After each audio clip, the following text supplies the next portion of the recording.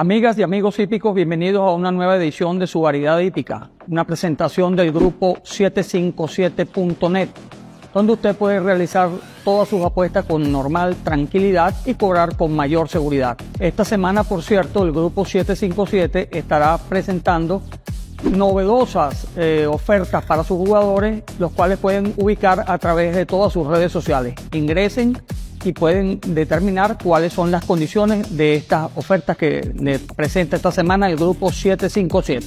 Comenzamos. El pasado domingo se disputó el clásico hipódromo nacional Arrinconada grado 1, el primer paso de la triple corona de yeguas. Una victoria aplastante para la yegua mi querida Egma, que de acuerdo a lo demostrado no parece tener enemiga entre las de su sexo y generación cuando menos pareciera tener asegurada la triple corona esta yegua, ya que las enemigas mm, resultaron impotentes al lado de esta yegua entrenada por Ramón García. Fue el triunfo clásico número 168 para el Ara La Orleana, que ocupa el séptimo lugar entre los aras mayor ganadores de clásicos en la historia de la hípica venezolana. También el domingo, el de Freud logró una fácil victoria en el clásico Ejército Nacional Bolivariano grado 2. Está tan sobrado este caballo que se le vino de punta a punta. Veremos ahora si lo correrán en el clásico Fuerza Armada. Esta semana se disputará el día domingo el clásico José Antonio Páez, primero de la Triple Corona Nacional con cabida para machos y hembras.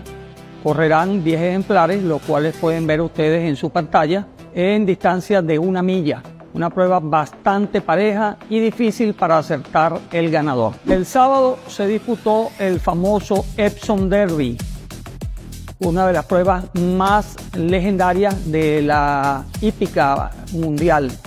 La victoria fue para el caballo Augusto y Rodín, que se recuperó de su estrepitosa actuación en las 2000 líneas y le dio la razón a su entrenador Aidan O'Brien, quien consideraba que este caballo podía inclusive triple coronarse este año en Inglaterra.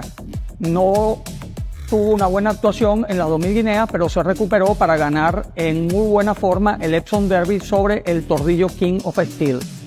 Fue la novena victoria para el entrenador Aidan O'Brien en el Epsom Derby y una más para el Culmore que por cierto envió varias yeguas al Japón para ser servidas por Deep Impact, el famoso líder cemental japonés.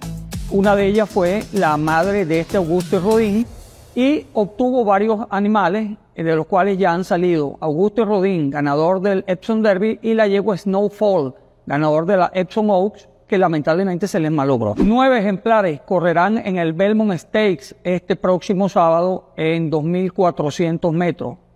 En su pantalla pueden ver el lote encabezado por el favorito, el campeón Forte, luego de los problemas que tuvo para no participar y ser retirado en el Kentucky Derby, regresa a esta carrera. Los números le dan efectivamente para llevarse la victoria. En cuanto a National Natural Treasure, el caballo nuevamente no hay velocidad en la carrera. Eh, hay que tener mucho cuidado porque John Velázquez le puede imponer un tren falso de carrera y si lo vienen a buscar tarde, el caballo se le puede ir. A mí me gustaba mucho Angel of Empire, pero el caballo lo van a correr en el Belmont con gringolas por primera vez y ya ustedes saben que es un implemento sumamente difícil de pronosticar si le cae bien o mal a un caballo. Por lo tanto, para mí, Angel of Empire, por esa gringola, es una incógnita. También está Tapit Trice, que es el caballo galopador, el caballo que tiene pedigrí para llegar a la distancia, el hijo de Tapit. Y también la presencia de Miracolo, un entrenado Antonio Sano, que sería el quinto entrenador venezolano en la historia del Belmont Stakes en participar en esta carrera. Esta semana se cumplieron 50 años de la victoria del caballo Secretariat en el Belmont Stakes de 1973, ganado por 31 cuerpos en una de las actuaciones más asombrosas que se han visto en pura sangre alguno en el mundo. secretaria logró la triple corona imponiendo récord de pista en las tres uh, pruebas, tanto en el Derby como en el Preakness como en el Belmont Stakes.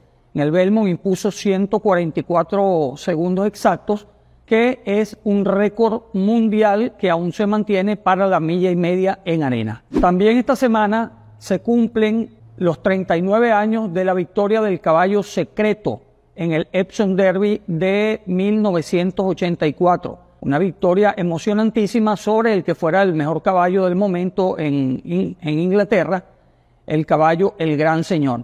Secreto, propiedad de la familia Miglietti, criadores venezolanos, que habían adquirido, lo habían adquirido como yearling eh, en una baja cifra para lo que costaban los hijos de Northern Dancer en su momento. Y el caballo le dio esta inmensa satisfacción. Fue, por cierto, la última actuación del caballo secreto, Trataron de correr una vez más, pero el caballo tuvo problemas y debió ser retirado a la reproducción tras ser sindicalizado por el Calumet Farm. Nuevamente, el aprendiz Emerson Medina ahora ganó tres otra vez y ya lleva 26 en lo que va de año. Este muchacho definitivamente se pierde de vista y se ve cada vez mejor sobre los caballos. La semana pasada les hablaba de Omaha Beach y el caballo esta semana obtuvo una nueva victoria a través de su hija Omaha Girl, su tercer eh, producto ganador de esta su primera producción y ya es el líder semental debutante en los Estados Unidos. Ténganlo anotado porque este caballo comenzó muy bien y tiene todo a su favor para ser uno de los grandes sementales de los Estados Unidos en los próximos tiempos. Ha sido todo por esta semana. Les recuerdo ingresar a www.grupo757.net para hacer sus apuestas deportivas, apuestas de hipismo. Esta semana tendrá el Grupo 757 unas interesantísimas ofertas, promociones para sus jugadores.